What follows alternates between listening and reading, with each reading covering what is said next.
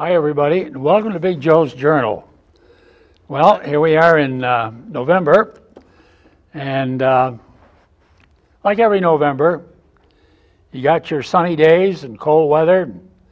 We've just survived a uh, huge fall storm, if you will. And apparently, in this area, we were sort of between two belts as they got hit a lot harder up around the northern part of the state, especially up in uh, Chittenden County, Franklin County, Orleans County, and up in the Northeast Kingdom, and down below us, down around uh, Bennington and uh, Brattleboro, Bellows Falls, that area. So once again, being in between two areas, I think we lucked out. We are between two snow belts. As they usually have more snow north of us, and then more snow south of us. Usually get up around, uh, talk about a snow belt. It's usually between Pittsford and Brandon that you see a difference in snow. There's more snow uh, north of us until you, uh, well, probably get up around Ferrisburgh or Charlotte. And uh, there, the lake effect from Lake Champlain delays the onset of winter just a little bit uh, coming into Chittenden County.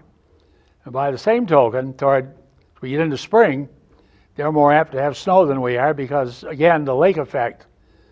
Uh, it's snow generated by the cold air over the lake that uh, comes in and affects Franklin and uh, North Chittenden County. But we lucked out on this storm.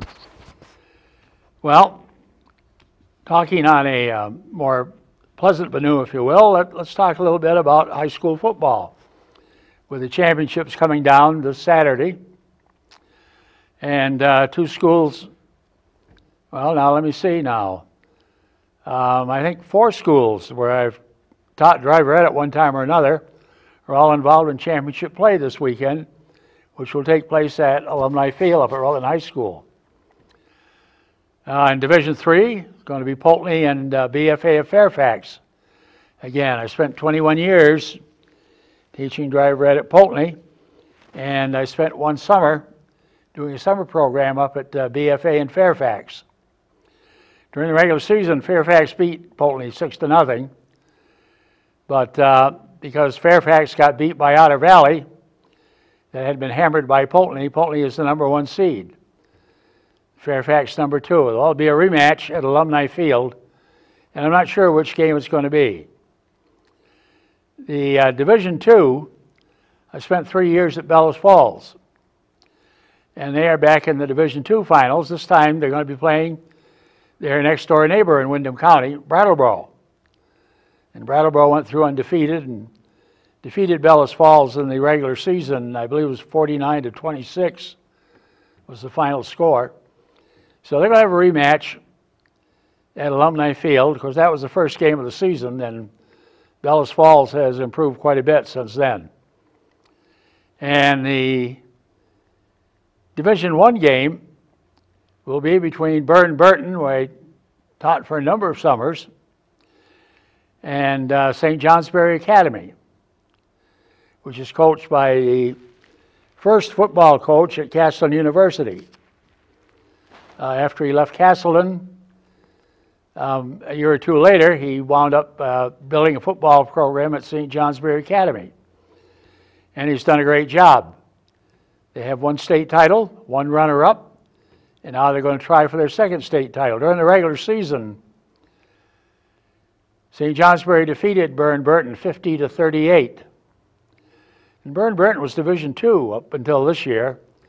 They came into Division One. Everybody wondered how they were going to do. Well, they virtually with a high-powered offense, they virtually blew some of these uh, Division One schools, you know, off the field. And they've gone into the finals by defeating Hartford, which is a traditional power in Division One. In fact, they routed them. I think it was something like 49 to 29. Middlebury, which was undefeated all season, um, Middlebury was favored and Burr and Burton went up and beat them 54 to 39. So a rematch, Division One, between St. Johnsbury and Burr and Burton. Well, let's turn to uh, the national scene. You know, the New England Patriots lost their first game of the season last night. They're now 8 and 1. They uh, pretty well got manhandled by the uh, Baltimore Ravens.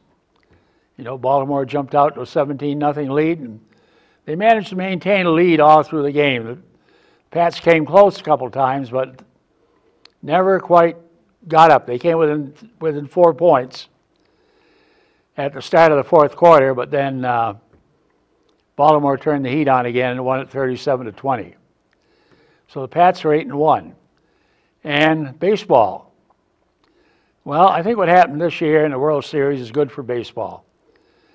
At the beginning of the year, if anybody had said the Washington Nationals were going to wind up as world champions in 2019, I think you would have been laughed off the uh, laughed off the surface of the earth.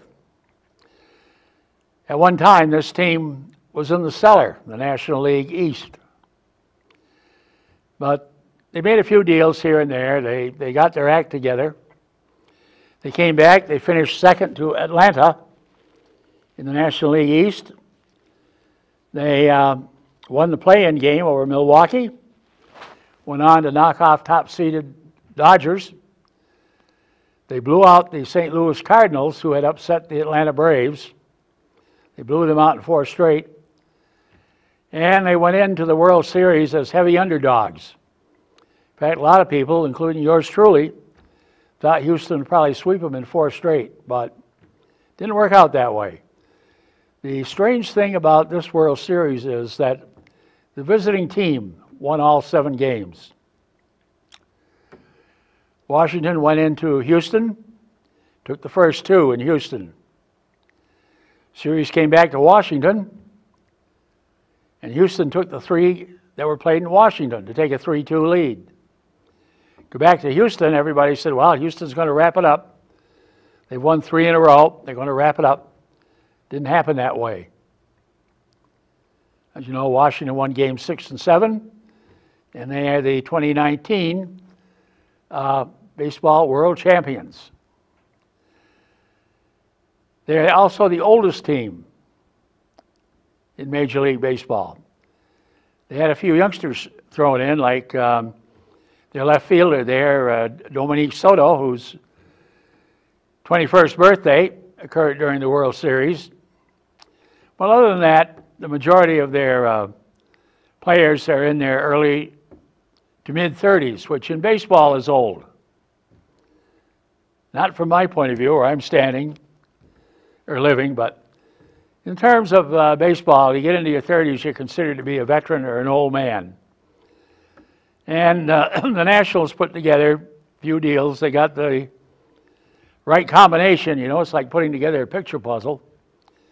And you get the right pieces in the right spot, the whole thing falls together. The owner of the Washington Nationals is 94 years old.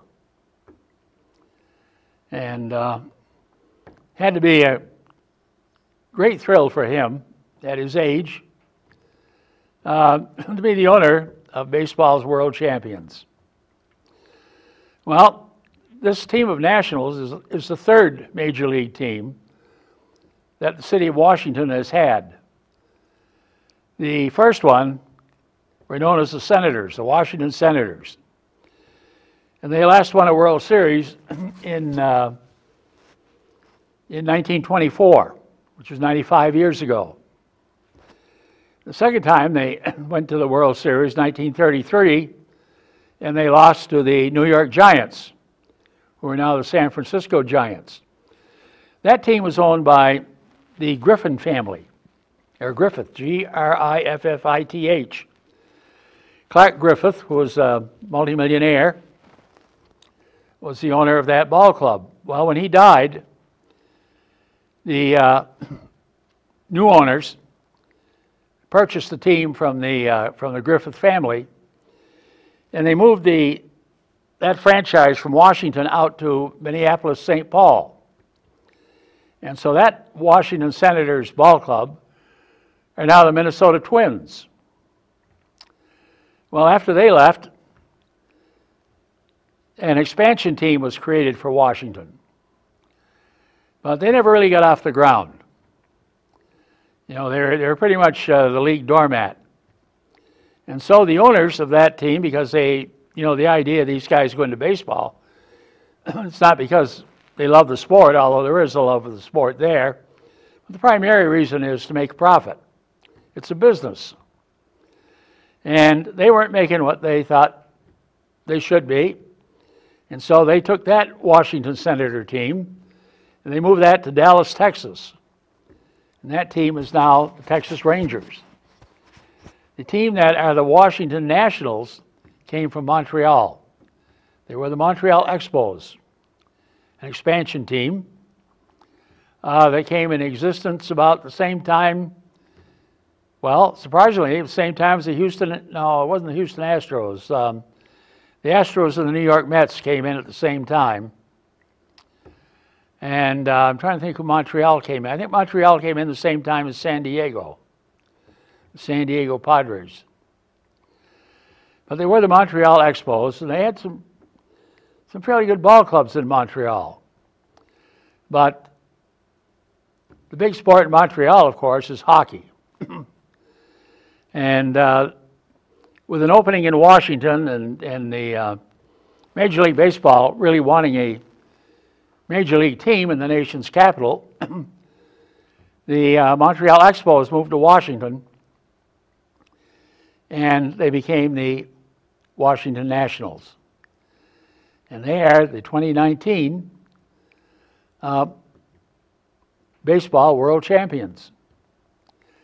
Well, as we're celebrating November here, um, two big holidays come up in November. First one, of course, is Armistice Day, or Veterans Day as we, we call it now. Years ago, when I was quite a bit younger than I am now, Armistice Day was more or less the concluding holiday of the summer season. That honor now goes to Halloween with that big Halloween parade. But on Armistice Day, the city had a big parade.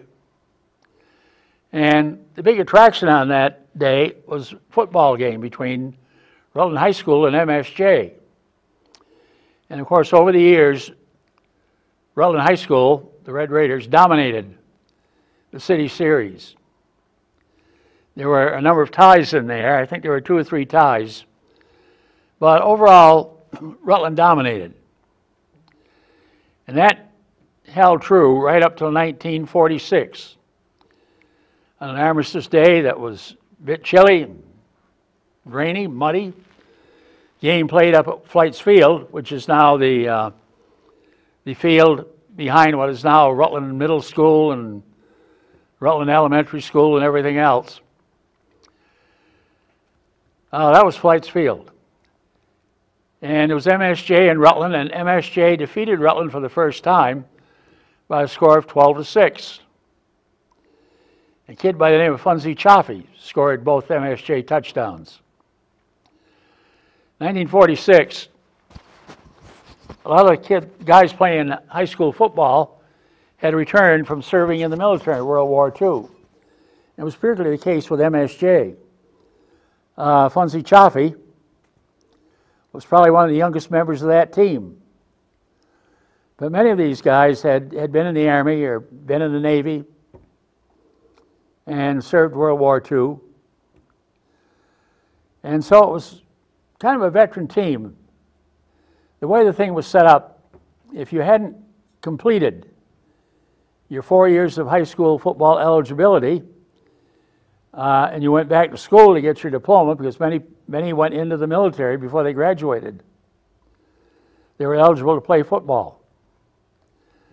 And so it's kind of a veteran team that MSJ put on the field.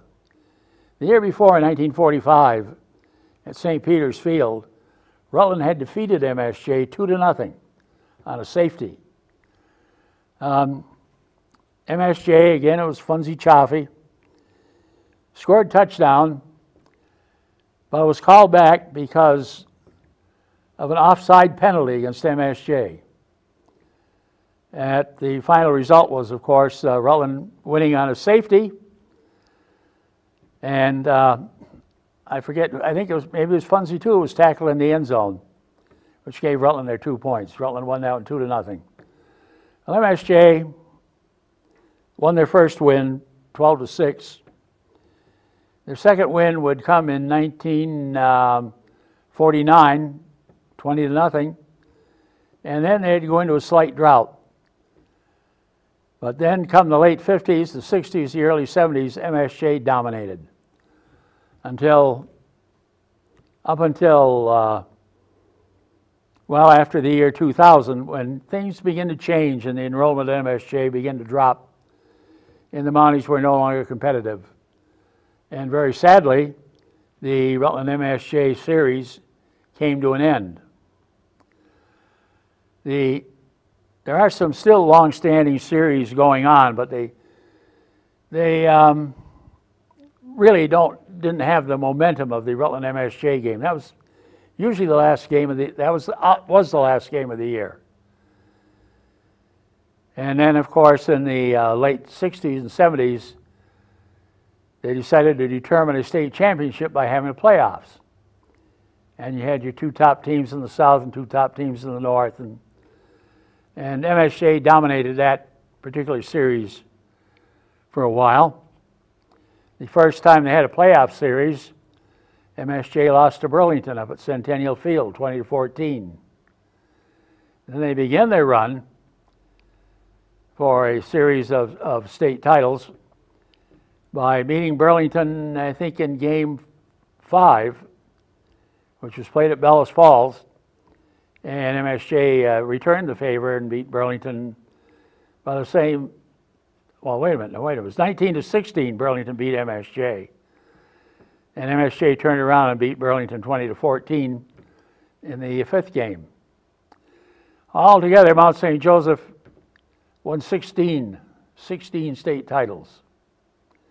And of course, that is a legacy that, due to circumstances and the way the situation is now, will never return. But Armistice Day, a big football game, Rutland MSJ, a big parade in the morning. And it usually began up Main Street Park and went down West Street and down Merchants Row and uh, then up East Washington Street, and back through the park over to the Rutland Armory where they had their speeches and all that sort of thing. Then there was a procession led by the Rutland City Band down to West Street Cemetery, and they would lay a wreath on one of the graves, and that was it till kickoff time, which was around one o'clock in the afternoon. And it alternated back and forth. One year at St. Peter's Field, the other year up at uh, Flights Field at the high school. Well, that is all ancient history now. Veterans Day originally signaled the end of World War I. World War I was known as the Great War. And the motto was it was fought, the war was fought to end all wars. But war is never a solution.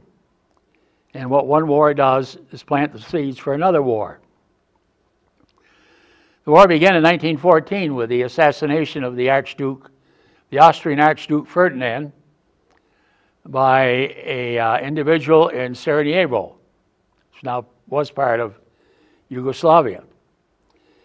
And uh, that time, Austria and Hungary were joined together as one nation. And uh, it was the um, it was the Habsburg nobility family that uh, ruled that particular section of the world. And the Archduke was the heir to the phone, heir to the throne. I got it. The heir to the throne. And he was assassinated in Sarajevo by an anarchist. And as a result, that would trigger World War I because there were a number of alliances that were set up. Um, Russia was an ally, or no, wait a minute. Austria Hungary was an ally of Germany. Germany had become a United Nation in 1870, less than 100 years old at that time, and they were still a very, very warlike nation. Well, once the Archduke was assassinated, And Germany came to the military support of, Aust- of Hungary Austria. On the other side of the fence, France was very, very nervous about the rise of German militarism, especially since Germany had defeated France in the War of 1870, requested help, and they requested help from their ally Britain. Italy was worried about a military intervention from Austria Hungary. So they joined France and Britain. And on the other side, Russia, which had pledged to uh, support uh, countries just outside of Hungary and Austria, uh, joined the alliance with Britain, France, and Italy. Well, the Ottoman Empire was afraid of being annihilated. That was, that was Turkey, so forth. So they allied themselves with Germany and Austria Hungary. And thus the stage was set for World War I. And that assassination triggered it off. And the war was pretty much a stalemate. A lot of people were dying, a lot of killing going on. Uh, sense of modern warfare, for the first time, involved aircraft. They were used as um, mainly for observation. They didn't have the very modern fighter planes that we have now.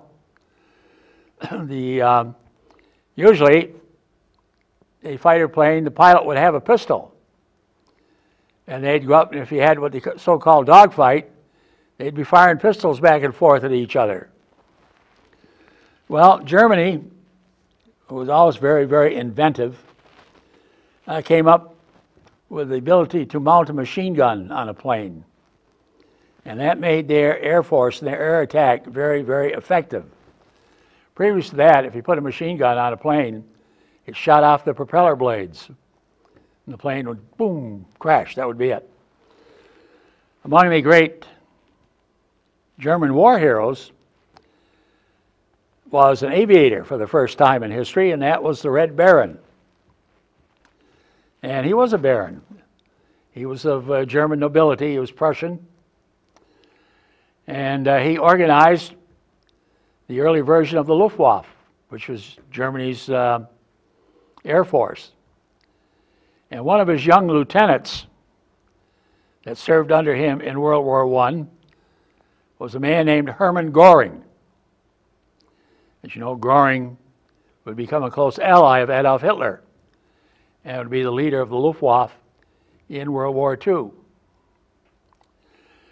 Well, the war began in 1914 when the Germans began by invading Belgium. And from there, they swept down into France. And you got into trench warfare. Neither side was gaining. They were losing a lot. Casualties were high. In 1917, the United States came to the rescue of the Allies. An American Expeditionary Force under the command of General John Pershing, Black Jack Pershing, went to France to come to the, come to the aid of the Allies. Well, they were able to put uh, men over there. We didn't have the materials that we needed, so consequently, a number of French tanks, as tank warfare was beginning to develop in World War I. A number of French tanks were loaned to the United States for use of our expeditionary force. My late father in law was a machine gunner on that expeditionary force that went over to France. And uh, it was trench warfare. The trenches were very dirty, very filthy. They were rat infested, a lot of diseases. The great flu epidemic, which killed millions of people worldwide in 19. 1918, 1919, 1920, started in the trenches of World War I. I know my father-in-law was gassed. The Germans used gas, both sides used gas in those days. But he also came back from the war with a lot of uh, souvenirs, which they were allowed to bring back. They picked off the bodies of dead German soldiers, German Iron Cross, and other. Uh, uh, one thing he brought back was the Luger pistol, which German officers carried. But World War I finally came to an end. Germany, pretty well beaten. The Ottoman Empire had been pretty well destroyed by British and French expeditionary forces. The war was a lot more successful in the Middle East from the Allies' point of view than it was from the Axis powers. And Germany, well, they were virtually cut off. And so both sides were tired of war.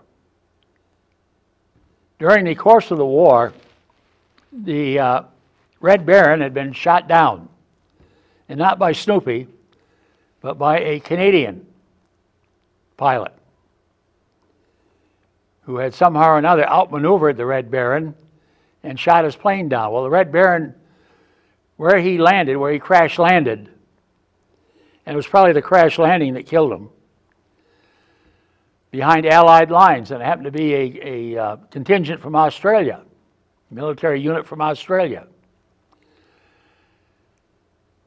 But what they did, even though this guy was part of the enemy, they gave him a military funeral. And they notified the Germans that the Red Baron had crashed and had died, and he was buried with very, very high military honors. One thing that uh, it was a bit unusual about World War I. Here these guys were fighting each other, killing each other. But on Christmas Eve, I believe in 1917, there was a truce. And because Christmas Eve, they came out of their trenches, they visited with each other and talked with each other and had a Merry Christmas Eve. Then they went back in their trenches and started killing each other. But both sides were, were pretty well exhausted by war. Both wanted peace. So, by mutual agreement, on November 11th, they met in a rail car at the town of Reims, France. And at the 11th hour, on the 11th month, an armistice was signed, ending hostilities in World War I. Well, as I said at the start, World War I was fought with the idea it would be the war to end all wars. But what it did was sow the seeds of the wars we even have now. The peace treaty that the Allies drew up at Versailles uh, was very, very hard on Germany. The German Kaiser, while not arrested, he had to go into exile, and he went in exile into Holland. And that's where he died, Kaiser Wilhelm, Wilhelm II. The British royal family, which was German, changed their name to Windsor. Became the House of Windsor. Actually, they were from Hanover, Germany, uh, coming, beginning with George I. He was a German prince at Hanover, and uh, he came to England. Parliament invited him to England to uh, assume the throne. And they maintained their German name right up until the start of World War I when uh, King George V uh, changed their name to, uh, it was Hohenzollern, and changed their name to Windsor. Well, with that, we come to the end of another program. Uh, since a week from now is going to be Armistice Day or Veterans Day, we'll see you in two weeks. May Almighty God, in His infinite wisdom, continue to bless these United States of America.